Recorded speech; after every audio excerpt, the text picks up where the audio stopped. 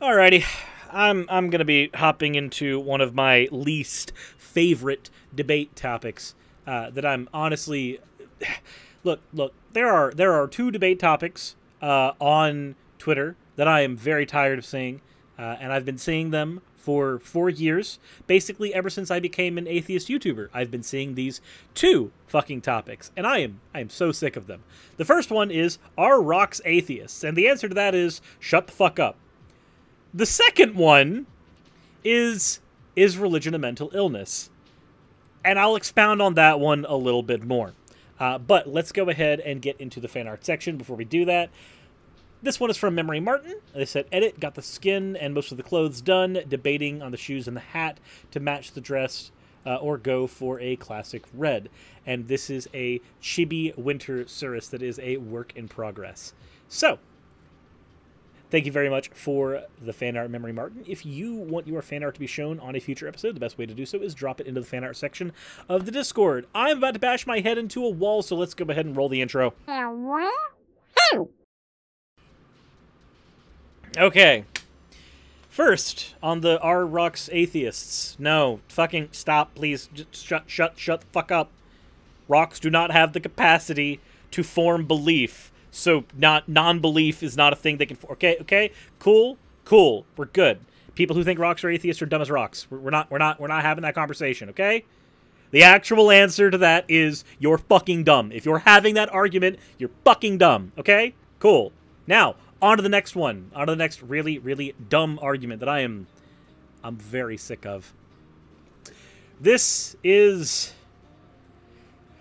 prefaced because as as with everything this comes up on my Twitter timeline. So let's go ahead and play the the TikTok that is in reference to this. Read the thing, and then we'll we'll get into my just exas exasperated pontifications. Let's go. Listen, Jesus is coming back, and we don't have a lot of time. I don't know the date. I don't know the. At what point is it mental illness? I'm, I'm serious. At what point is it mental illness. Listen. Okay, so is it cringy when Christians are constantly going, God is going to come at any moment like he's the fucking Lord of Edging or something? Yes, that is cringy. Yes, it's actually stupid. I'm I'm I'm I know normally I give a little more philosophical backing when it comes to stuff like this, but seriously, you people who do the apocalyptic freak out about everything. Jesus is coming, Jesus is coming, Jesus is coming. It is dumb. It is incredibly dumb. And I know that there's not a whole lot to be said past that, but quite honestly, if you do not know when your Lord is coming and you're already saved, just just hush. I, it is obnoxious, but obnoxious a mental illness does not make. So, we have a. Now, I'm not saying respond to this person. This is an example where I've seen a bunch of other issues. Uh, but wasn't able to save it, so I had to screen record. It deserves a boost of fellow anti-theists to see it on Twitter. For most people, I believe it is a mental illness. Do you agree? And the answer that I will say is, as somebody who has no problem taking the anti-theist moniker insofar as it can be construed as anti-harm, no, I don't fucking agree. I'm sorry. Mental illness and an opinion are not the same thing. Now, I know that there are better creators on the platform to go into the nitty gritty and the specifics on why it is definitely not a mental illness, but let's talk about what a mental illness is real quick, okay? Now, first, to talk about mental illness, we need to talk about mental health. Mental health involves the ability to function in daily activities. Productive activities like work, school, or caregiving, healthy relationships, ability to adapt, change, and cope with adversity. That has to do with your mental health. Without any mental illnesses, your mental health can be affected by something. Your stress levels, your anxiety levels, these things can affect your mental health. Can there be an argument that various religions can have a negative effect on one's mental health? Absolutely. That is not the same thing as mental illness. What is a mental illness? Collectively, any diagnosable mental disorder or health condition involving significant changes in thinking, emotion, and or behavior and distress and or problems functioning in social work or family activities, but specifically these have to come down to, uh, on a neurological level. This means these are things affecting your synapses, these are things affecting chemical levels in your brain. Now, why does that matter?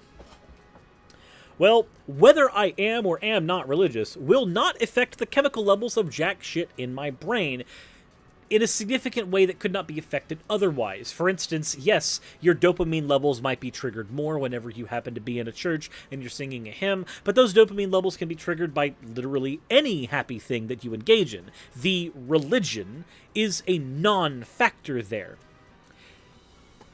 If we were to talk about different types of mental illnesses, we can do that.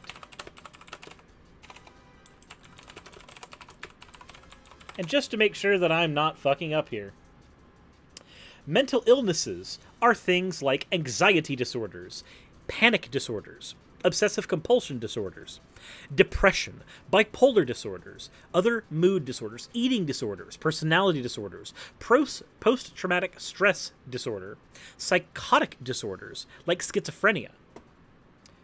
These are mental disorders.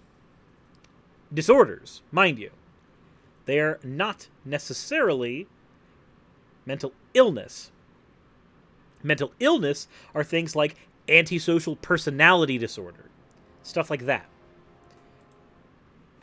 There's a lot of things that are similar here in these groupings. But what matters is that these are all things that affect you on a fundamental level.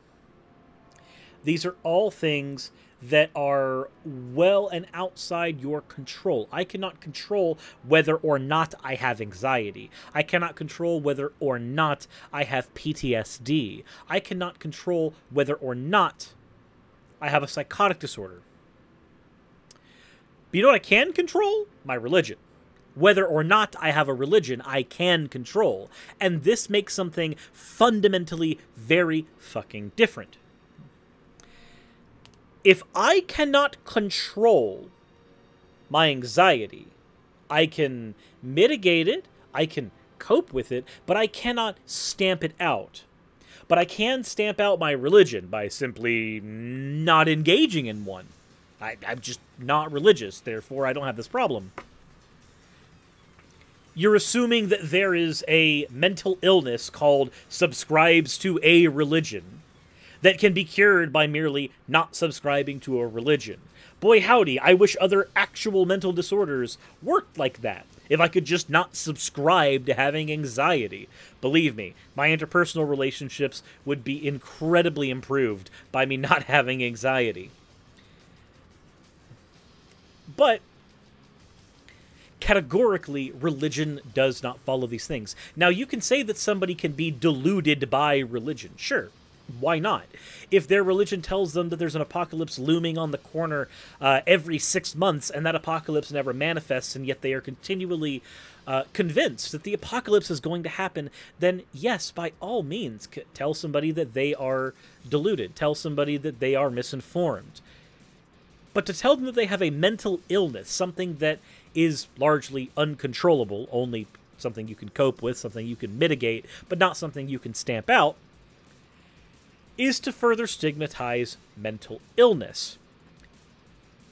People who have mental illnesses, and of this fun list, I at the very least have one.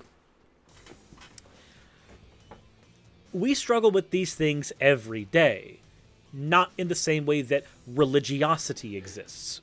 Now, can an argument be made that certain forms of religiosity can exacerbate mental illness? Oh, absolutely. If you already have an anxiety disorder, then fear of hell is going to prey on that. If you already have depression, feeling like you don't measure up to whatever, you know, God wants you to be is going to prey on that. If you have a psychotic disorder, then it might be very easy for religiosity to be a factor in whether or not you have a psychotic break and start hurting people. Yes. But these are not the same things as having a mental illness. This is an outside factor which just like when I pointed out the dopamine increasing in your brain when you happen to be in the middle of a church, there are other outside factors that can trigger all these things. A psychotic break can be triggered by a breakup, by random things happening. A anxiety disorder can be triggered by practically anything. I should know I lost a career to the damn thing. Religiosity can be a help in some of these situations, or it can be a hindrance in them, just like family can be a help or a hindrance in these situations. If you want to argue that a religion is wrong about a particular thing, by all means, do that. If you want to argue that somebody who is religious is using their religion as a cudgel and hurting other people, by all means, do that. But none of that makes it a mental illness. None of that makes it a mental disorder. None of that means that you believing that a God existing or you being part of a group of people who happen to have an opinion on a form of theism is the same thing as an anxiety disorder or a depression disorder or a bipolar disorder categorically these do not function the same way. Stepping into a church and accepting being part of that community does not magically change the chemical balance in my brain. If you think that it does, then you've given an argument as an anti theist to the religious person that you're trying to argue against in the first place. Because now, suddenly joining their religion does have a significant change in their brain patterns which is something that, generally speaking, anti theists argue religion does not do. We point out that religion can be replaced by a variety of other community and coping mechanisms. And yet, certain very, very dumb anti theists try to have their cake and eat it too. Now, there's another aspect to this over and above the category error, over and above the fact that these things just merely do not function the same way, there's also the feeling of superiority that goes hand in hand with the stigmatization.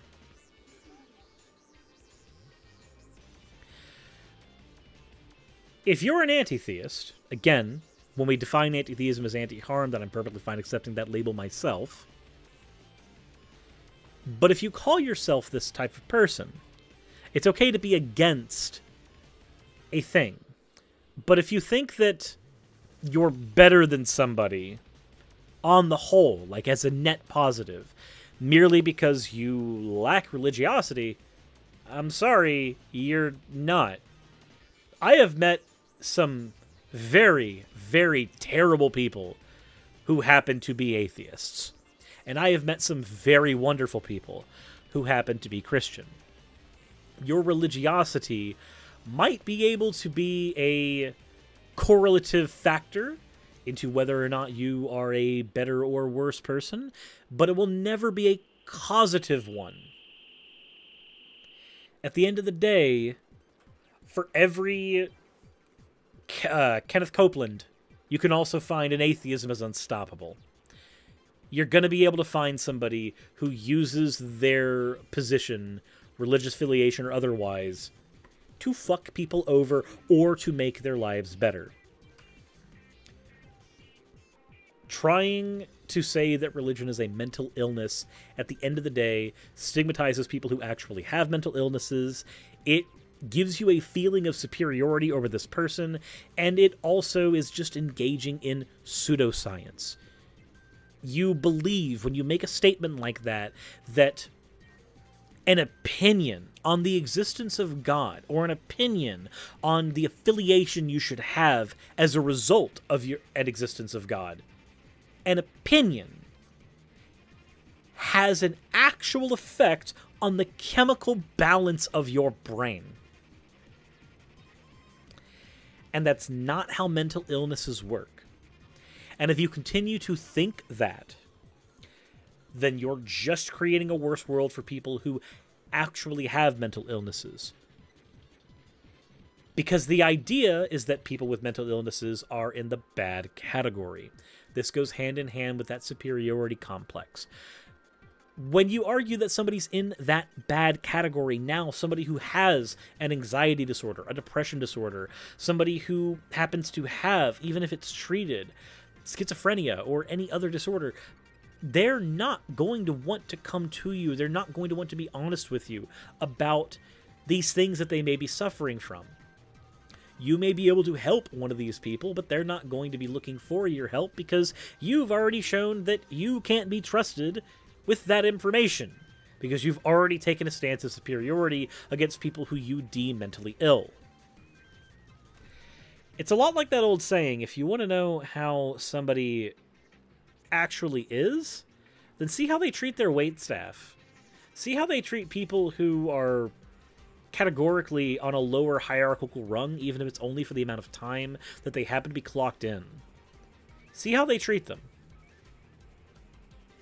A lot of times, you can tell whether somebody's actually a worthwhile person by how they treat their wait staff. Likewise, you can tell if somebody's a worthwhile person by how they treat people that they think are inferior. Moreover, if they categorically separate people into positions of inferiority to begin with, well, that tells you a lot more about the person than the category they tried to create. At the end of the day, these are two conversations I am tired of having. I'm tired of seeing our atheists rocks. Shut the fuck up. There's a thousand more important conversations to be had within the atheist sphere than fucking rocks. But that conversation isn't actually damaging. If you want to have that one for fun, go go right ahead. Go right ahead. Just don't break your teeth when you chew on the rocks. When it comes to the latter conversation, the one about mental illness, you are causing real harm to people when you think that religiosity somehow is a mental illness. I know this has been rambling. I know this has been less informed as other videos that I've done, but quite frankly, every time I see this argument on Twitter, I want to slam my head into a wall, rip it out, and then throw it back in because at least there's safety in concussions. But, anywho, if you want to support the stuff that I do here on the internet for better or worse, there's ways to do so in the description. If you want to check out my secondary channels, uh, both Sunset City, the podcast that I run with Wayne as Boss and Channel Pup and Game Apologist, or if you want to check out Nekosuris, where I talk about video games, links to those are in the description as well. That wall's looking very, very good. Insert end of video tagline here. Hey, thank you so much for watching this video. It really means a lot to me. If you want access to behind the scenes content for the channel, please consider checking out my Patreon. I do weekly vlogs over there where I give uh, real life updates to what's going on behind the scenes on the channel, stuff that you don't really get uh, over here and, and even on Twitch. Uh, Patreon also helps the channel's stability a whole lot. Without Patreon, I wouldn't be able to do this at all. Especially with the kind of content that I do, neither YouTube nor Twitch are the most stable sources of income. If you are a $20 and up patron, then you will be featured on the ending slides as shown in the beginning of the end credits. If you want to catch the streams where all this content comes from, then consider heading over to Twitch and following. And if you want to continue watching over here on YouTube, maybe consider clicking one of the end screen videos. And once again, I want to thank you so much for spending your time with me over on my channel. I wouldn't be able to do literally anything that I'm doing over here on YouTube without each and every one of you. So, thank you.